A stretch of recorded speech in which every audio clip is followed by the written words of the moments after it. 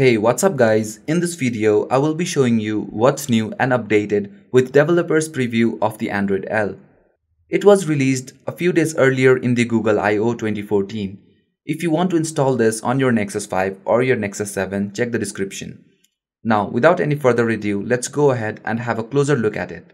First is the all-new boot animation with the Android L, as you can see here. The next thing you will notice about the new update is the all-new lock screen, where you can see your carrier name on the top, connectivity status, battery status, and even your Google profile picture. With this update, you also get the lock screen shortcuts. You can swipe to the right to quickly open the phone app, swipe left to launch the camera, swipe down from the top to bring all the toggles, and swipe up to unlock your device. Next is the overhauled notifications. Now you can get all your notifications on your lock screen. You can double tap to open it and swipe left or right to close it. For notifications like missed calls, you can swipe down from the notification to quickly respond to the notification like calling back and messaging. So let's quickly unlock the device and as you can see we have the new wallpaper from Android L. We also get the redesigned navigation keys. We have the new icon for the app drawer. App drawer looks the same, nothing much. So nothing new here. Swiping from the top, uh, we get the notification center and uh, we don't have to swipe with double finger to bring down the toggles this time around. You can swipe again to see all the toggles. We also get a new keyboard with this update. The new keyboard has a material design and is very stylish, feels very smooth and responsive.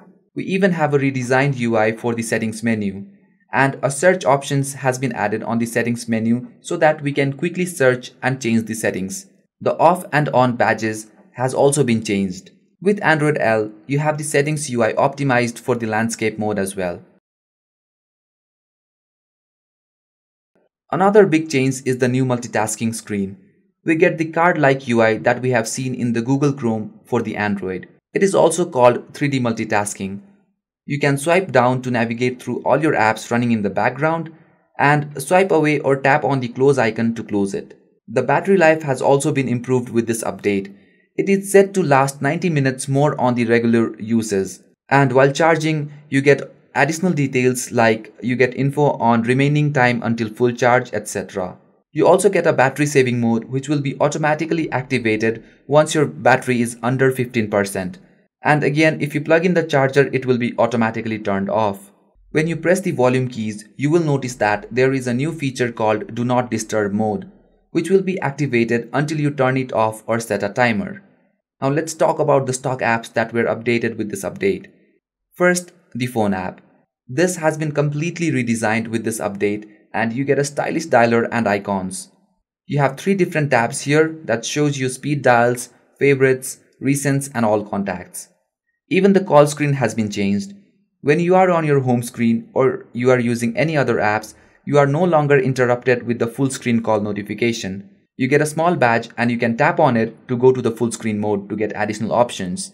You only get a full screen notification when your device is locked, that is when you are not using your device. Second is the contacts.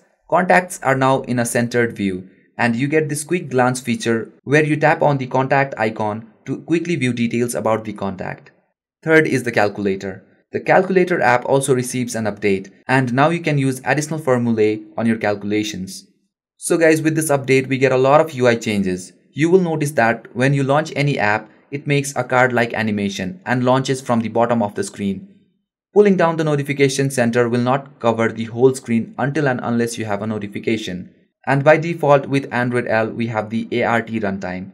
But since using the developer edition of this Android, uh, you may face some problems like lags on some third-party apps, battery drains, etc. But as of now, I'm not facing any of these issues, a few lags with the Facebook app and the widget space.